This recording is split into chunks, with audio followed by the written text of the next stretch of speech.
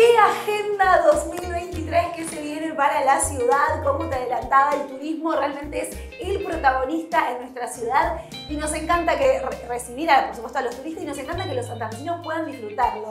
Y es por eso que tenemos a Franco Arone aquí con nosotros nuevamente para contarnos todas las novedades. Hola, campeón del mundo. Hola, Vicky, buen día.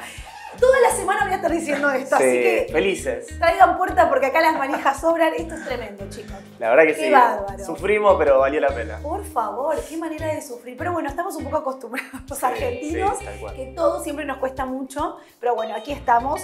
Y el turismo también tiene mucho que ver con esto, porque Santa Fe también es una ciudad muy futbolera y muy deportista, ¿no? Y se vienen también muchas eh, actividades respecto a esto. Sí, gracias por invitarme, como siempre, para, para contar todo lo que venimos planificando desde la municipalidad. Mm. Y vamos a tener un verano muy bueno. Nosotros venimos planificando una agenda muy ambiciosa de, de paseos, de actividades, de, de paseos y actividades gratuitas, pero también todo lo que ofrecen las agencias de viaje, los paradores de playa, los prestadores privados, como por ejemplo el bus turístico. Un La- éxito el bus turístico. Sí, qué bueno. estamos llegando a, a lo que queríamos, una ciudad que ofrece distintas alternativas. Vemos muchos turistas subidos de, de todo el mundo. Nos Ay, pasó ver sí. el último fin de semana de Italia, de Brasil, y nos llena de orgullo porque costó mucho, la pasamos mal en la pandemia y, y ver esto la verdad que, que nos pone muy contentos. Qué bueno.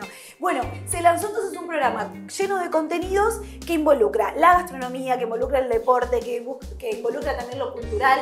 Pero hablemos un poquito de las playas, que por supuesto son grandes protagonistas en el verano acá en Santa Fe, porque tenemos mucha agua alrededor y porque también la gente viene a disfrutar de los, de los eh, espacios deportivos. ¿Dónde podemos encontrar toda esa información y qué prepararon para este 2023? Bueno, lo primero que hay que decir es que las playas se pusieron en valor con los paradores que fueron licitados hace un par de años y, y la verdad que tenemos servicios de calidad en las dos costaneras y particularmente decir que hoy cualquier persona puede ir a comer a un parador de playa, degustar sí, una picada santafesina, puede alquilarse un camastro como, como hacemos cuando viajamos por el país y por Claro. el mundo. Eh, con un excelente servicio y con una vista única que es nuestra laguna Setúbal, nuestro puente colgante.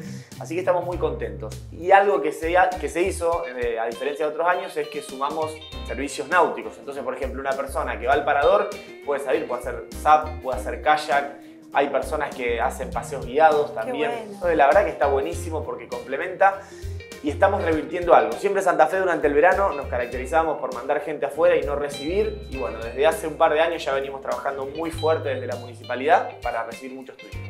Hay un tema que es eh, lo de la nocturnidad, que se habló muchísimo durante todo el año. Sabemos que es un tema que les preocupó y les ocupó muchísimo, sobre todo también a la parte turística, porque claramente a la noche todo un polo gigante gastronómico donde eh, la gente va a comer, va a disfrutar, va a bailar.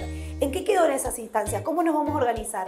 Bueno, la verdad que sí, es un tema central y particularmente para lo que es el turismo, para lo que es la producción, es, es muy importante Sí, solucionarlo.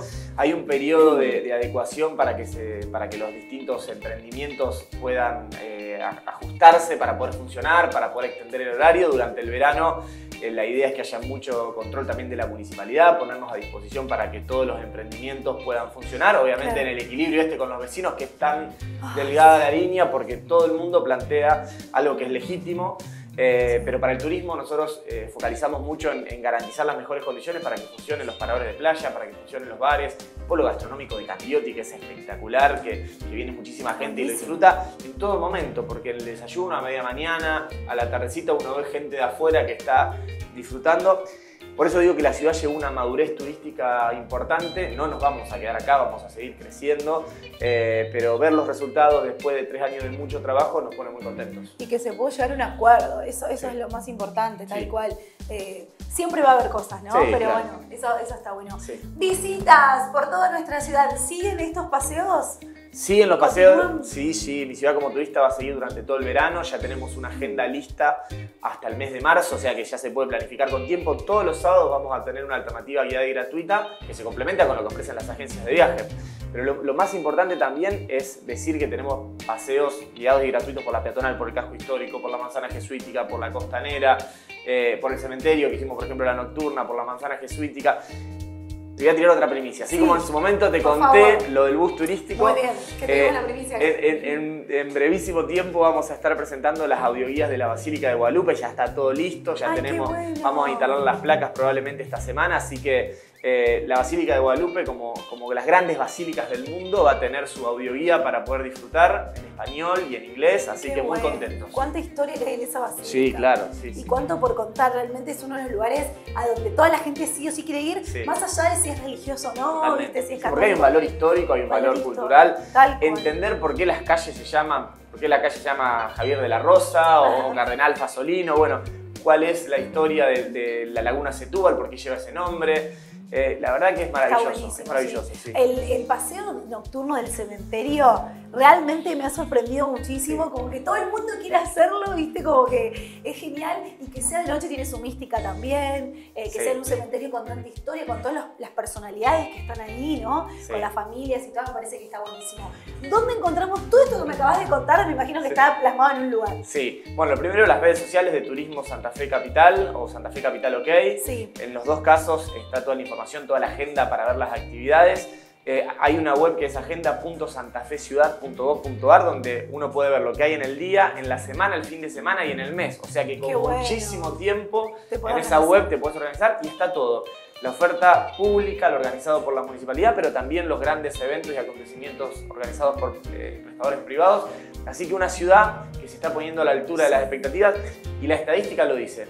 Somos una de las principales eh, ciudades turísticas del litoral argentino, así que muy orgullosos. Ay, sí, qué lindo, me encanta. Igual por esa agenda Santa Fe el toque te sale ahí en Google toda la información eh, para que puedas navegarla y organizarte bien. Porque a mí me dicen, bueno, pero voy dos días. Hay un montón de cosas para hacer en dos días. Te va a quedar corto con dos días. queda corto, sí, sí. Pero viste que por uno quiere ir a comer Sí, a todo. Hay sí, 40 lugares y a visitar un montón de espacios. Eh, pero bueno. Casi todas las actividades son gratuitas, siempre digo lo mismo, los museos están abiertos, son gratuitos, están abiertos todos los días. Entonces, a disfrutar, porque está buenísimo eh, y además tenemos una ciudad que se presta para caminarla, para disfrutarla, siempre hidratado porque hace Sí, mucho claro, sí, calor. eso es cierto. Pero bueno, gracias, Fran. Nos No. vemos en el verano. Nos vemos en el verano y muchísimas gracias por la Por invitación. favor, seguimos con más.